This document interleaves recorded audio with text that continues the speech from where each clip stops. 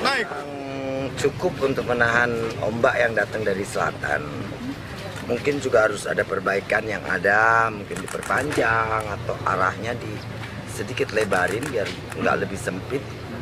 Yang kedua, saya sih sarankan bikin lagi yang dari batu itu ke sini supaya tahan gelombangnya tambah tambahan satu breakwater yang melintang di tengah.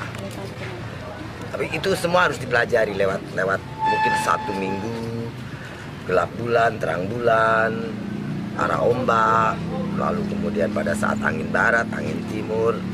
Kalau tidak nanti salah lagi, salah lagi. Ya.